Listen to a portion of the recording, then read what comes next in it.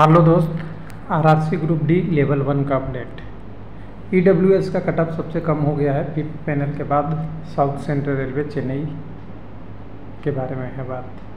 तो कटअप आपको सामने दिख जाएगा, अभी तक का जो फिफ्थ पैनल आया है, वहाँ तक का डी में ईडब्ल्यूएस का 50 से नीचे सैंतालीस पॉइंट टू वन ओ का बासठ एस के लिए चौवन ए के लिए छप्पन और यूआर के लिए छियासठ, जो हमेशा सबसे ज़्यादा रहता है। तो यहाँ पे आपको दिख रहा होगा कि सबसे कम अगर चारों कैटेगरी में जो नॉर्मल है, उसमें ई डब्ल्यू एस का सैंतालीस पॉइंट टू वन रहा है। आगे डीबी आना चाहिए, यहाँ पे बहुत दिनों से लोग तैयारी कर रहे हैं थर्ड डी डीबी आएगा कि नहीं आएगा। तो देखिए, कुछ ना कुछ पोस्ट का आएगा जो लिखा है नोटिस में, वो पढ़ेंगे। लेकिन सबसे बड़ी अपडेट, कई दिनों से लोगों का कमेंट है, R R C Secunderabad, R T I में रिप्लाई दे रहा है कि रिजाइन वाले को आगे के लिए हम ज्वाइनिंग जो रह गया ज्वाइनिंग के बाद रिजाइन कर दिया, उनको लिए आगे हम नहीं जोड़ेंगे, उसको नेक्स्ट वैकेंसी में दे देंगे, यानी कैरी फॉरवर्ड कर देंगे। तो देखिए आर टी आई के मैं शुरू से कहते आ रहा हूँ कि आर टी आई कोई ऐसा मैकेनिज्म नहीं है जिससे आपको जॉब मिल जाए। आर टी आई एक इन्फॉर्मेशन का ज़रिया है और इन्फॉर्मेशन वही दिया जाता है जो पब्लिक में रहता है। आपने अगर फ्यूचर की बात पूछा तो आईटीआई नहीं बता सकता कि फ्यूचर में क्या हो सकता है। और आरटीआई के जवाब भी ऐसे होते हैं, जो अवेलेबल होता है और जो आज आप जानते हैं, उससे बहुत पीछे का होता है या इधर उधर का होता है तो एग्जैक्ट आपको आरटीआई पे देखिए, विश्वास करें या ना करें आरटीआई के जवाब से जॉब नहीं मिलता। फैक्ट है। तो चलिए सब शॉर्ट शॉर्ट में देखने चलते हैं। जल्दी जल्दी देर नहीं करना है, सीधे सीधे बात करना है। तो हम चेन्नई पे आएँगे, साउथर्न रेलवे की वेबसाइट पे। तो दो अपडेट आज के दिन में आ रहा है।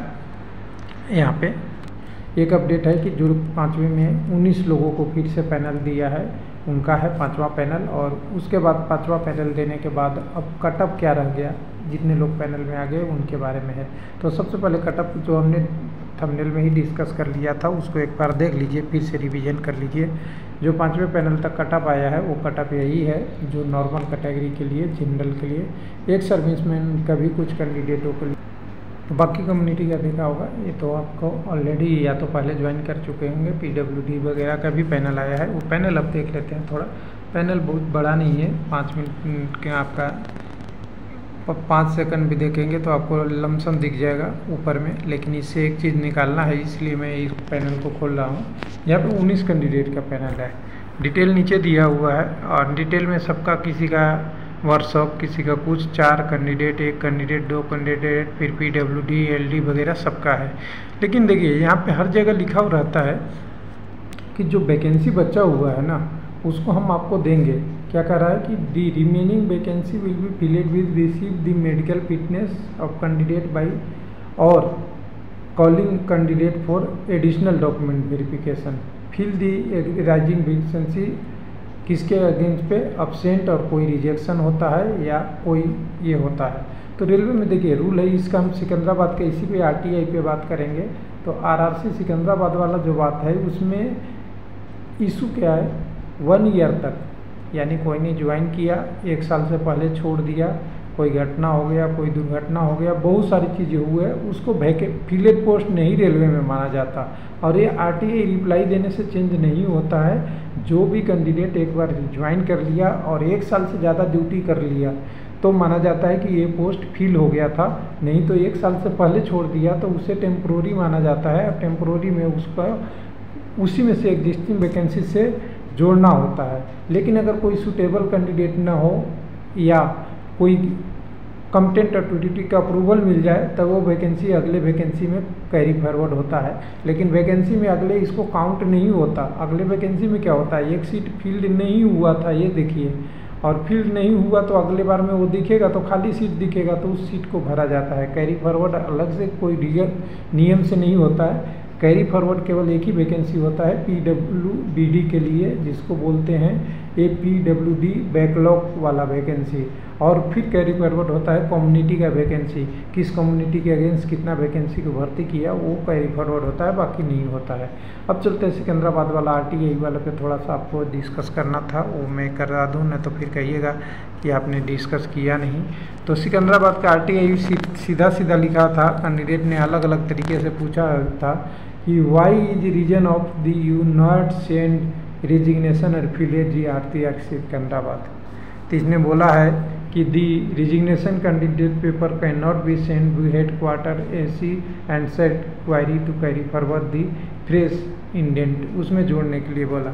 मैं कह देता हूँ यहाँ लिख देता कि मैं आपका इसका जवाब नहीं देता हूँ। आप क्या करोगे? ये कोई आरटीआई का क्वेश्चन है? कोई बता सकता है क्या? ये आरटीआई का क्वेश्चन है या नहीं है? आरटीआई किस लिए लाया गया है, ये आपको एक स्टूडेंट है पता है, जो पब्लिक में डॉक्यूमेंट है उसके बारे में पूछना। ऑफ़िस के अंदर क्या, ये सर्कुलर पे क्या काम हो रहा है, ये पूछना आरटीआई के दायरे में नहीं आता, लेकिन जो लोग उंगली उठा रहे हैं इस पे, किस पे, आरटीआई पे या कैरी फॉरवर्ड वगैरह वाला जो वैकेंसी पे, वो उठा रहे हैं साउथ सेंट्रल रेलवे सिकंदराबाद। और कहे ना कि आपके घर में, किसके घर में, आपके घर में या मेरे घर में? सबसे ईमानदार आदमी कौन है? तो मैं कहूँगा आप हैं। आप जिन्होंने क्वेश्चन किए हैं। और आप ही को कोई अगर बेईमान कहे तो क्या कैसा लगेगा? बुरा लगेगा।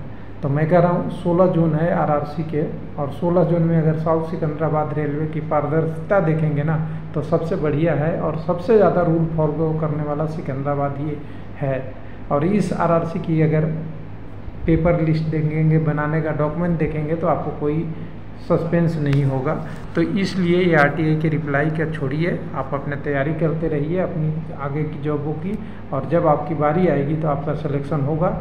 एक साल से पहले कोई अगर रिजाइन कर दिया, उसे वैकेंट पोस्ट माना जाता है, लेकिन वो वैकेंट पोस्ट कब तक कैरी फॉरवर्ड होगा, वो डिसाइड कमिटेंट अथॉरिटी करती है, और अभी third D B fourth D B की बात सोच रहे होंगे तो कुछ ना कुछ अभी आपके पास आएगा।